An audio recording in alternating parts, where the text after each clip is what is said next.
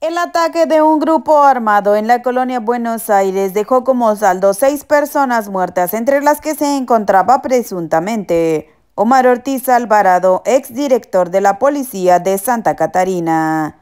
Según versiones de testigos, en el lugar se realizaba un festejo al interior de una bodega de un lote de autos, ubicada sobre la calle Herreros en su cruce con Tamazunchale, hasta donde llegaron al menos tres vehículos de donde descendió un grupo de hombres armados, que posteriormente abrió fuego en la zona.